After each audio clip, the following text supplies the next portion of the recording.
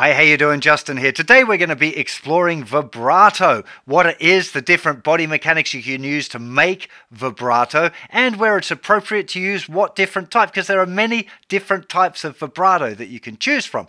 And what I found is that many advancing beginner guitar players, that is people that have just started out learning some scales and are having to go at a bit of improvising, are a little bit confused about vibrato. They either use the wrong one in the wrong place or they do things that they think might be vibrato, like shaking the neck around, but it's not really doing anything. So what I figure I'd do with this lesson is give you a bit of an overview of the different types of vibrato that we're going to deep dive into in the intermediate grades. Just so that you've kind of you've got a right idea of what you might like to start experimenting. So first of all, what is vibrato? So you could think of vibrato as pitch oscillation around a fundamental note. so what that means is we've got a particular pitch and we're going to oscillate, that is go up and down, so above and below that fundamental pitch while continuing to come back to it. Now, there are many different ways of getting vibrato on the guitar, but most of them only go above the fundamental. The fundamental being like the note when it's most in tune. And then what we're going to do is increase the pitch, so go slightly higher out of tune and then back to the fundamental. You could, of course, go below or both. So you can go above the fundamental, below the fundamental and back, or just above and then back to the fundamental each time, or just below and back to the fundamental. It's really important this coming back to the fundamental pitch, otherwise it tends to sound a little out of tune. So the two variables that are really, really important that you need to understand are rate and depth. Now the rate is how fast we're moving away and back to the fundamental. So if it was really slow, just as an example, I could play this note. That's no vibrato at all, it's just straight. If I did a very slow vibrato, here we're going. That's very slow, right? It doesn't really even sound like vibrato. If I did it quite fast, it's kind of boinging a bit. Like a spring or something. You know. So it's really important. That's the rate. So how fast it is going. Sometimes people, other people call it speed, whatever. I think rate, rate is a good definition. The next one is depth. And that's explaining like how far away from that fundamental pitch are we going. It could be quite subtle. There's vibrato there. It's very subtle though, or even more subtle. Or wide. Okay, that's moving very far away from that pitch. So that would be a very wide vibrato. to have a lot of depth. So really important that you understand this speed and depth are the two variables that you play around with with vibrato.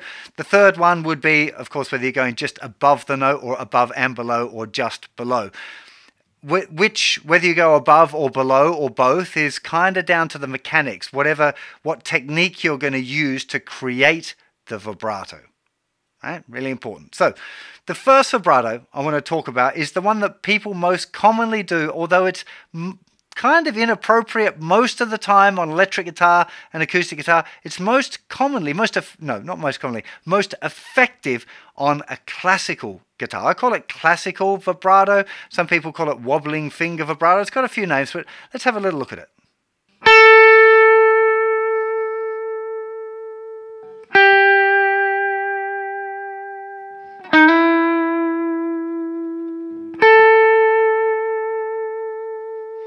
Okay, this is the kind of classical vibrato. You can see there that I've got my finger on the fret and I'm wobbling my hand backwards and forwards, but it's very subtle. You, it's very hard to make this very extreme. You wouldn't really tend to use it in blues. It's you. The only time you'd use it really is in a ballad when you've got something going.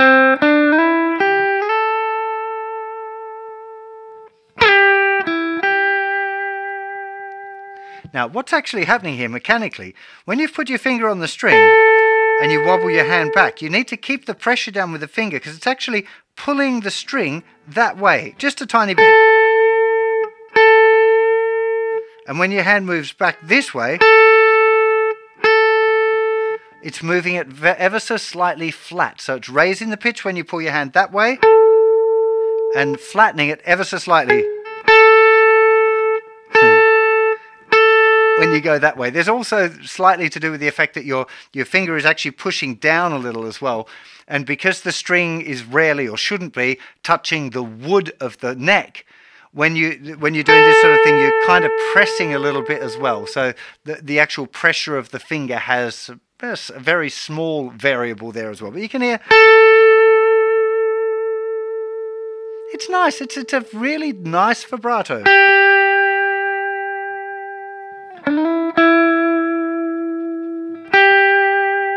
Notice that I'm lifting all of my hand off as well. My thumb is off as well. The only point of contact is with that finger. The tip of the finger needs to stay still. You don't want to go. Otherwise, it's not really quite going to work, is it? So, finger has to stay within the fret. Now, this is the type of vibrato that I see most commonly, and it's it's a fine vibrato in a very specific circumstance. It sounds great on a classical guitar because the strings are made of nylon. So when you pull the string back, it actually you get quite a lot more bend out of it, uh, like a further depth out of it when you do it on a nylon string guitar. On acoustic guitar, I feel like it's even more subtle than on electric guitar. So it's the, the time that you would use that would be in a ballad. If you want to find some great examples of that, listen to some classical guitar and listen to the way they play individual lines, because that's pretty much the only type of vibrato classical guitar players use. They don't use the other type, the type that I would call a standard vibrato for electric guitar or acoustic guitar, wouldn't be used by classical players. So unlikely to be used by classical guitar players. I'm sure there are some that do it anyway, right? Breaking the rules is all about that. There aren't so many pop guys that use this kind of thing. One great example of a pop guy that plays nylon string guitar, though, is Dominic Miller, uh, Sting's guitar player, incredible musician, just a beautiful, beautiful guitar player. Uh, you can check. I'll, I'll, have a link over on the website to a few of his uh, compositions where you'll clearly see him using this style, but he mixes it up as well. He uses a little bit of the rock one, the rock standard sort of style vibratos as well. Very accomplished musician uh, with every uh, tool in the toolbox available for him. But he's a good example of kind of a modern guy that might use that kind of vibrato in a in an improvised setting. So if that isn't the standard type of vibrato, what is? Well, I'm glad you asked. Let's have a look at what I call the standard vibrato, which is the most common type of vibrato that you're going to see on acoustic and electric guitar in contemporary music.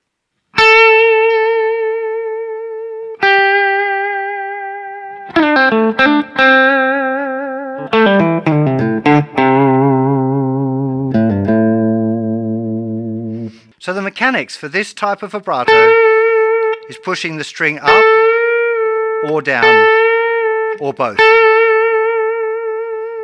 Really interesting here is that the pitch is only going up. Okay, we can't, using this technique, we're bending the string up from the fundamental and back down. Even if we pull the string down, it's still going up the pitch.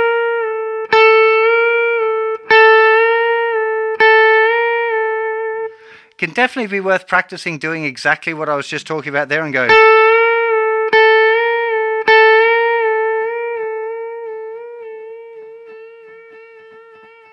See, but the key thing here, this mechanic, is that we've got a pivot point there on our hand and that that is what's creating. It's almost like the fingers are locked. If you pushed your fingers forward, so your hand and your fingers are square, and then you've got a pivot point on the edge of the guitar, and you're just rocking your palm of your hand. You can see there how that those makes those fingers move like that.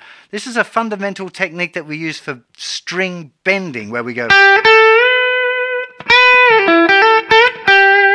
That technique, which we're not looking at today, but it's the same mechanics as that. So what you'll find is that the, the these three fingers are kind of locked together, and it's this hand motion that makes it. It's not fingers. It's not this. It's not this. That's that's like really bad technique to try and do that. You can hear it's getting all noisy and horrible. It's this. Fingers together and it's this wobbling of the hand. See my thumb's over the top as well, and that's creating this, helping hold the pivot point at the edge of my first finger, and then we're just... And it works with the other fingers too. Same technique. Works on every string.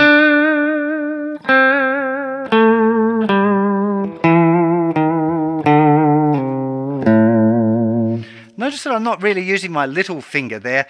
It's quite possible to. Just I never bend with my little finger. It would seem that most of the guitar players that I really like don't bend with the little finger. A few freaky exceptions, but most don't.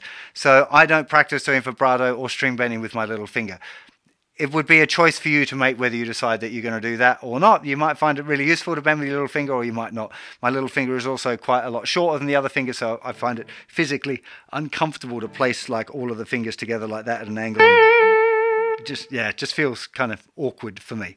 I would encourage you to explore this type of vibrato and to make this your default style. There are other ones that we're going to look at, but this is the most commonly used and the easiest to get sounding good under your fingers. Remember the two variables there. You've got your depth and your rate. So the amount that you bend can be very small or it can be very big you can go, that's mostly down, but you can go up and down. that feels weird for me. I don't tend to do it that way. In fact, I'm, it definitely pulling it down feels a lot nicer for me than put, bending it up. Yeah, it just feels awkward for me. So it looks like that's the one I'm doing. But that's not to suggest that you should only do that one. Okay? Definitely with the first finger, I kind of feel like there's a nice the pull of the pull of the handle the pull and the release feels really nice to to, to work in that way um, Probably my favorite example of the standard vibrato guy uses vibrato that way would be Mark Knopfler. Of course, like one of the greatest guitar players that's ever lived, but his vibrato is absolutely beautiful and he tends to favor this type. Again, I have seen clips of him using other types of vibrato, but this seems to be the one he most commonly uses do be aware that these different playing around with the different variables will give you some pretty different results. One vibrato I never feel like I, have managed to nail down mm. myself is the BB King butterfly or flutter vibrato. Where it, it is this technique. He usually does it with his first finger rather than the third finger, but you can see it's it's this movement of the hand from the pivot with the first finger.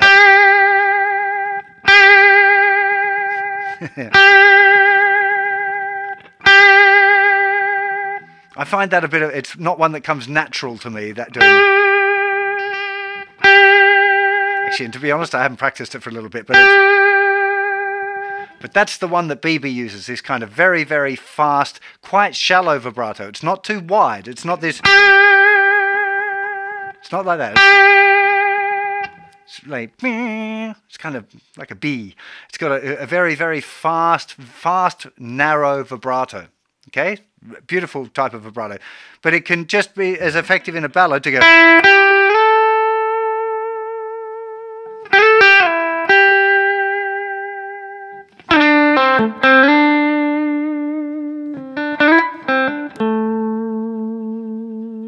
So it can be subtle. It doesn't have to be all wide and big and crazy. I guess that would be the difference between like a standard vibrato and a rock vibrato will be the width there. When it gets real wide, like your Angus Young or whatever, where it's a really, really wide and still quite aggressive vibrato, that tends to be what I refer to as a rock vibrato. So really quite wide and fast.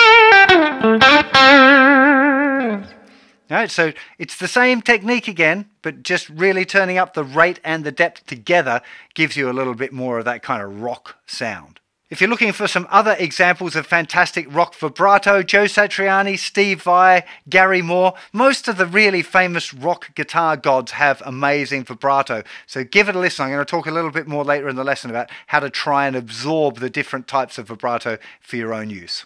There's another type of vibrato commonly used in blues and rock guitar. I tend to call it blues vibrato because I first came aware of it watching Eric Clapton. I've been transcribing a bunch of his tunes and I was like, my vibrato never seems to be quite right. Did a little bit of watching and realized that his whole hand comes off most times, not all the time, most times when he's doing a vibrato, he plays the note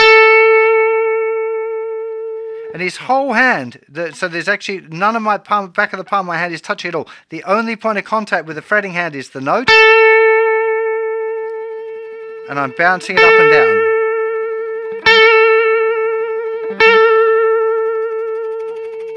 This is one I feel a little tricky. There's cool things happening now. I don't know if you can hear it. It's like a scrape on the fret. You can hear that still the, the note's sustaining because of this scratchiness on the fret. You could just keep it going and going and going. I'm still actually unsure how exactly that works. I'm assuming it's because either the string or the fret are getting warm somehow and that's creating some friction because it doesn't happen all the time. Yes, it's not happening there again. Oh, but it is still happening on that note. I reckon it's to do with it. Oh, no, but now it's gone. Now it's gone. It will come back if I keep doing it. Okay, so this hand-off vibrato requires quite a lot more pressure from the hand. Okay, so you end up pressing, like pulling back, and then bouncing your forearm up and down. So it's very much coming from this motion with your hand, as opposed to this. This is wrist pivoting. This is whole forearm moving. Now, I must admit, I found that one a real struggle it just didn't come naturally to me at all. I really had to work on being able to get it together even a little bit. It's not my go to, it's not my first call, but I do find that there are times when I want to use it where it, it does seem to have its own kind of a flavor. And again, this is what part of the, the point of this lesson is to show you all of these different types and how they might be used. So that is one definitely useful one. You might want to watch some videos of Eric doing it and seeing the, the, his mechanics and watching and listening so that you start to absorb it again, like I'll talk about absorbing these different types of vibrato in a little bit. The standard type of vibrato and its derivatives, including that kind of blues vibrato like I just showed you that Clapton tends to favor, they all only rely on the pitch going up, okay? Because we, there's no way of making the pitch go below the fundamental for those. The only ways of doing that is this one, this neck vibrato, or using a whammy bar, okay, like the little tremolo arm, which this guitar doesn't have. I do have a guitar over there that's got one, which I think I'm going to get out in a little second just to be able to show you exactly what that one does. But this neck vibrato, I absolutely love this. Uh, it's a very, very common thing for people to feel like wobbling the neck around gives them some vibrato. So I quite often see people go.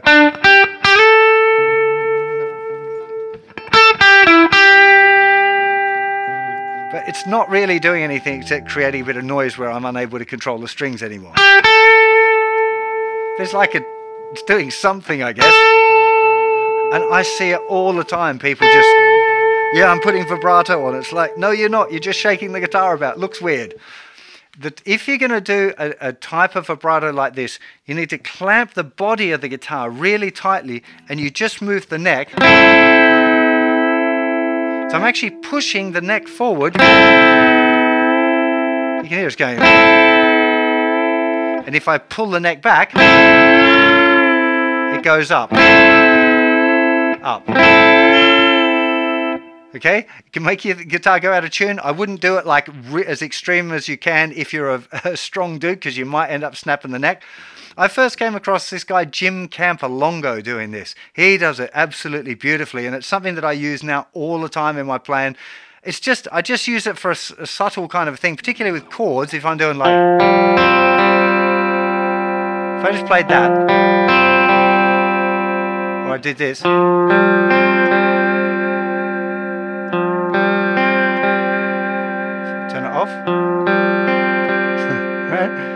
I can't play that anymore. It's too flat. Subtle. Okay, it's, I most commonly use that kind of thing for chords. I don't tend to use it for single lines. I guess there's no.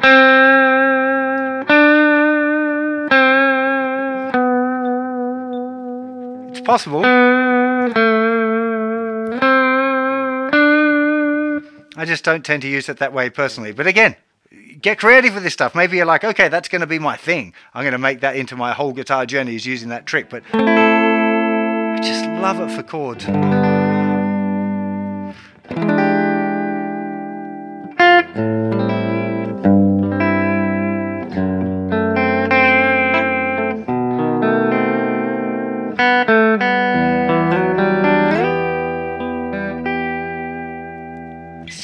Nice thing. So I, what I'm actually doing, like I said, gripping the body of the guitar and forcing the neck forward.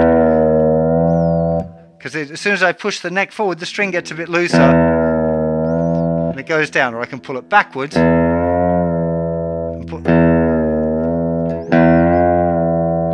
Okay, that's probably not a good beginner vibrato, but it can be quite a fun thing just to be exploring.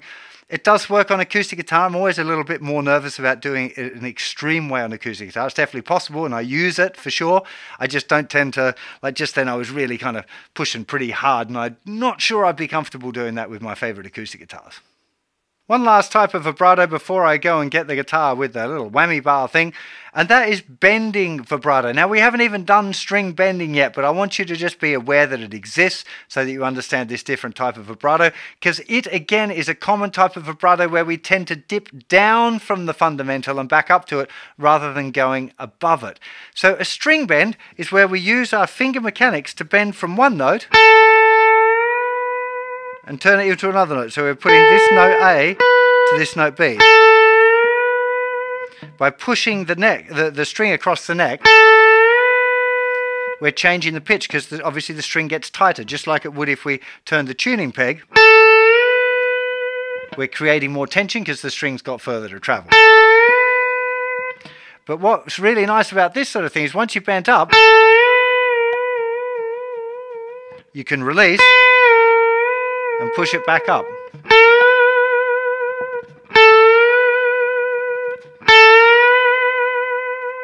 It's a really interesting thing about bending with vibrato. It's one of the ways that I can tell whether a note has been bent with vibrato, whether it's played. So whether it's this or this.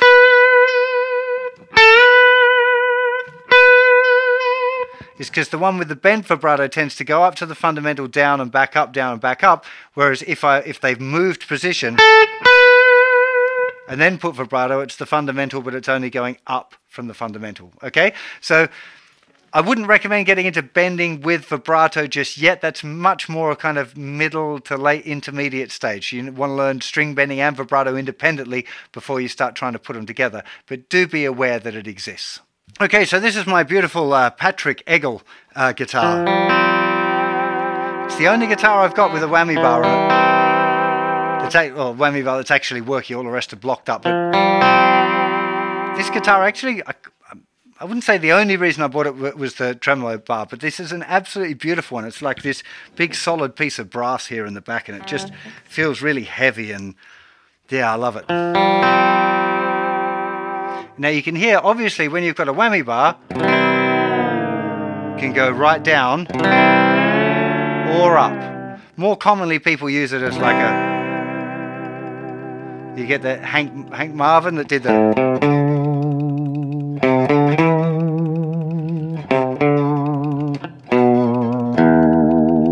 Gotta play the song because then I get in to get copyright stuff, but you get the idea. This one's a little bit clicky. I, I need to uh, make a little adjustment in here with the Allen key to make it sit a little tighter. It's a little bit loose. I can hear it rattling a bit. Don't want rattly whammy bars. Haven't used it for a little while. Some people use it on leads, so playing. Dave Gilmour does that. Lots of guitar players use the whammy bar for getting the vibrato. I don't tend to do it, use it that, in that way that often. Uh, not exactly certain why. There's definitely nothing wrong with it. It's not a cheat, or I, I don't have any problem with it. It just didn't end up being my bag. But the uh, yeah, it's got a nice especially chords. Being able to get that sort of swell. Of course, you get all of those the, the rock guys that use the harmonic and all of these. you got to whack too much distortion on to do that. Wait. If I turn that up and that down, all of these. Why is that not absolutely squealing?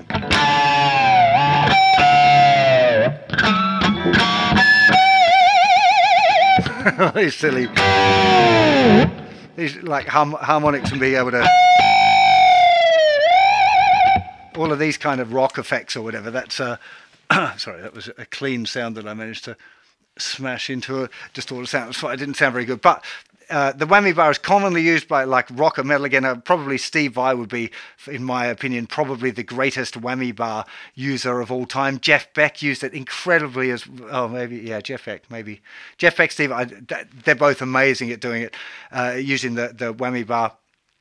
Uh, you can get very accurate with the pitch. You can use all of these different. Uh, it doesn't have to just be harmonics. It's a very useful thing. Like I said, it's not really my my bag using the the whammy bar, but uh, for lots of people, it's a really intrinsic part of their sound.